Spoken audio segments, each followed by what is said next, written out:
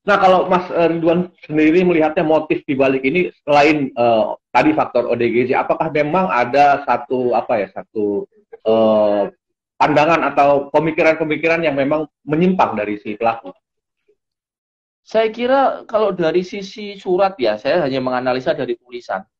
Itu memang kayaknya kejiwaannya terganggu ya. Mungkin ada tentu saja psikolog yang yang mempunyai keahlian klinis untuk bisa mengidentifikasi itu tetapi kalau kemudian dalam kajian kami, misalnya di kajian teror maupun kajian intelijen, ya. kita tidak melihat kita tidak melihat indikasi bahwa si M ini atau Mustafa ini terlibat uh, dengan jejaring teror, misalnya JAD atau JI atau Al Qaeda atau yang lainnya. Karena berbeda tuh karakteristik surat yang dia buat dengan ideologi-ideologi teror yang ada di Indonesia.